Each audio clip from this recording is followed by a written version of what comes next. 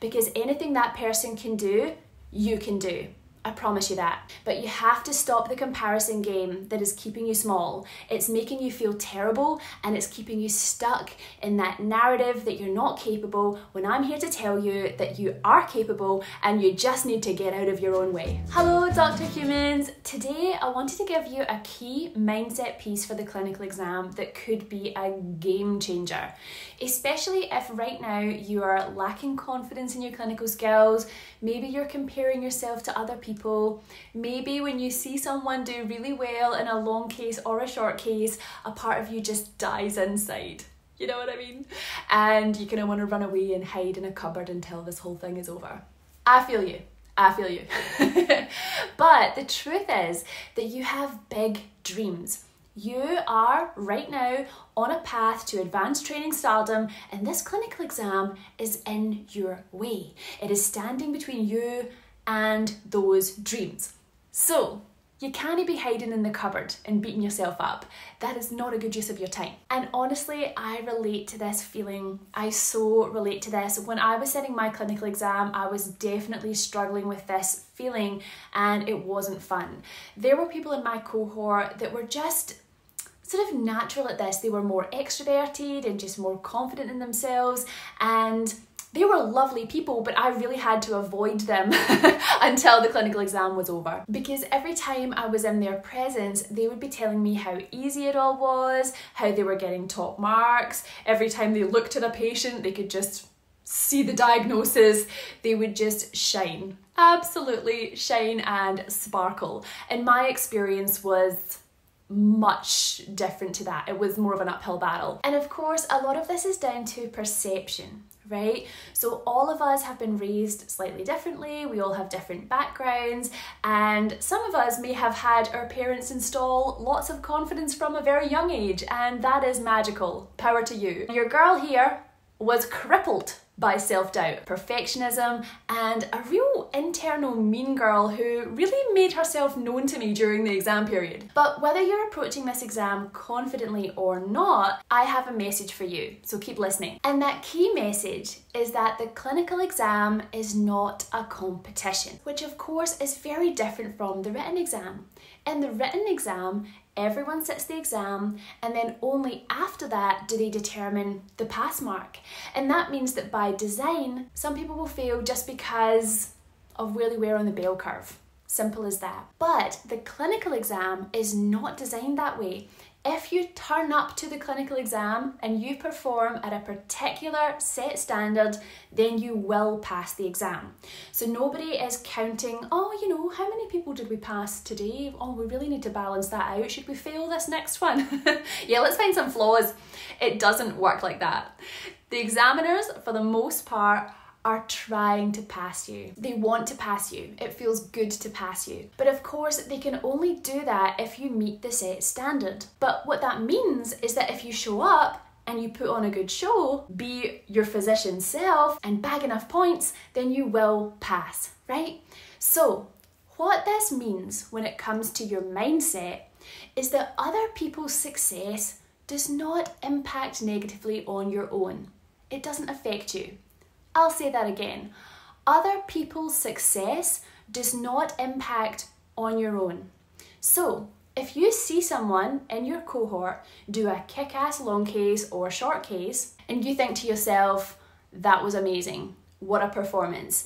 Instead of letting their success make you feel less than and not good enough to do this exam, what I want you to do instead is to remind yourself that this exam is not a competition and that person's success does not affect you, and perhaps this could even help you, right? You could learn something from that person.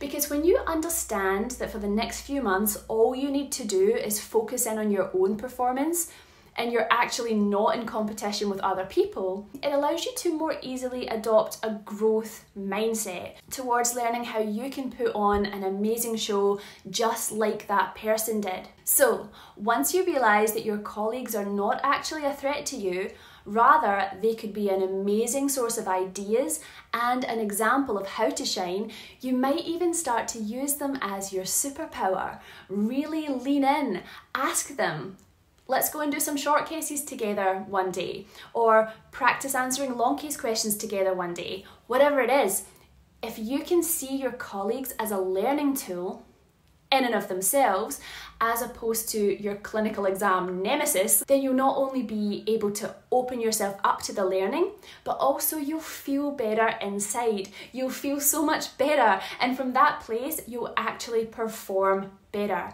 because anything that person can do, you can do.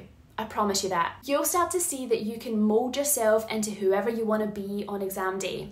But you have to stop the comparison game that is keeping you small. It's making you feel terrible and it's keeping you stuck in that narrative that you're not capable when I'm here to tell you that you are capable and you just need to get out of your own way. And for my confident humans, you also have a special role in this. You might not be comparing yourself to people in that way, but you have an ability to hold space for your colleagues who might be naturally less confident than you. You have the power to spread that kind of energy if you choose to.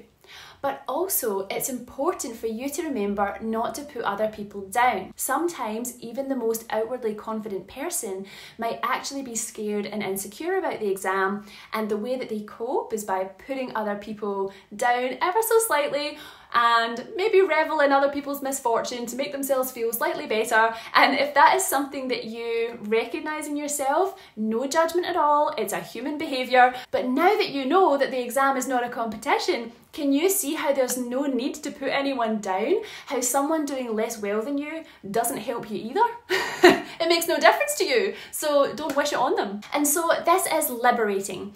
The clinical exam is not a competition. This means we can approach it in a way that is focused purely on our own growth. When we watch our colleagues do well, we can take learning from that. And when we see our colleagues do less well, we can hold space for their potential. We can lift each other up because nobody else can take this exam away from you. Other people's performance is irrelevant to your own performance. And when we really believe this, we can get out of our own way and everybody wins. So thank you so much for joining me for this little soapbox episode. I hope that helps you as you work towards your clinical exam. And if you are studying for your clinical exam, then come along, join me for Rock Your Long Case, the program. I will teach you how to take the history ninja style, construct a winning issues list, opening statement, think and sound like a physician, and we will be checking your long case abilities in our live small group coaching. You'll also receive so much juicy content covering the renal, dialysis, transplant long case, gen med topics. We're talking diabetes, obesity, osteoporosis, falls, adherence, behaviour change, peri-op med, and even rheumatology. Them there is some long case gold. And if you do want to take part in the programme, especially if you want to come to the group coaching, you must register before the 31st of March. After that, I will be closing the live group coaching aspect of the course because I really want to serve the people inside the course. I want to get to know them, diagnose any problems, and make sure that they are on track. And so I don't want to dilute that experience for those who have signed up to the program. So, if you want to be part of this year's program, including that live group coaching, then be sure to sign up before the 31st of March. But to be honest, there is so much juicy content on there, the best time to join is right now, today. Just go ahead, click the link, and I will see you on the inside. And otherwise, I will see you in the next video. Bye!